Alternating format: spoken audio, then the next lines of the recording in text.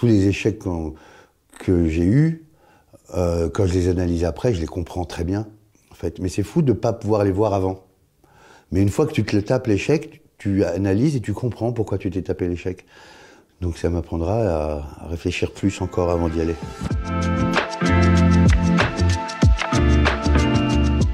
Quel rapport vous entretenez euh, avec l'échec? Ah, C'est dur. Hein. Ça dépend de l'implication qu'on a mis dans le projet. Quand on n'est que acteur, à la limite dans un film, on arrive vite à, s'en détacher un peu d'un échec. Mais quand on a monté le projet soi-même, quand on l'a écrit et porté, là, c'est vraiment très dur. Quand on consacre 2-3 ans de sa vie à un, projet et que quand on le sort, euh, ça n'intéresse personne, bah, c'est dur, quoi. Ça doit être comme un cuisinier dans sa cuisine, il sert les plats, et euh, après le service, les assiettes reviennent tout aussi pleines. Ça doit être dur, quoi. Vous parlez de hibou? Notamment, ouais. Je parle de hibou, puis j'en ai eu d'autres, des, échecs. Mais c'est dur, oui. Quand c'est toi qui as tout cuisiné, c'est dur.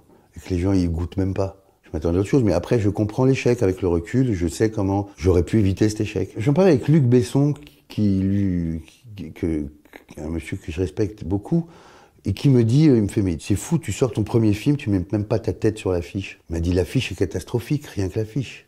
Puis il n'y a pas ta tête, c'est ton film. Rien que ça, je l'avais pas vu.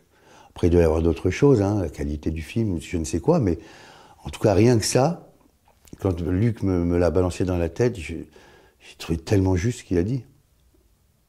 Voilà, ça se joue à des détails parfois. Et vous le comprenez tout de suite, dès le premier jour où le film sort, que ça va pas marcher? Ouais, oui, bah, le cinéma, hein, on comprend à 14h, t'es au courant. Hein. C'est ça qui est horrible. Tu bosses trois ans et à 14h, on te dit au revoir. Je crois pas avoir vécu d'échecs cuisants comme celui-ci. Euh, peut-être, hein, mais je ne crois pas. Dans Youssef Salem a du succès, vous incarnez un loser qui tout d'un coup réussit. Ce qu'on découvre aussi, sans trop trop spoiler, c'est que le succès, c'est pas forcément ça qui rend heureux. Complètement. Complètement, oui. C'est vrai, bah, c'est ça, oui, vous avez raison. Chaque échec a sa raison. Hein. Pour moi, tous mes échecs avaient des raisons. Avec le recul, je me dis, si j'avais pris ça plus au sérieux, ça aurait pas. Si j'avais. J'ai l'impression, non? Tout ce qu'on rate, c'est nous qui le ratons. Hein. C'est pas les autres qui ratent pour nous. Hein. Faut rater pour réussir. Sinon, tu te rends pas compte que tu as réussi. Faut rater. C'est le pire, c'est de le pire. Moi, c'est ce que j'apprends à mes enfants. Rater, c'est pas grave, c'est de pas y retourner qui est gravissime. Moi, quand mes enfants ils ratent quelque chose, je suis pas dégoûté pour eux.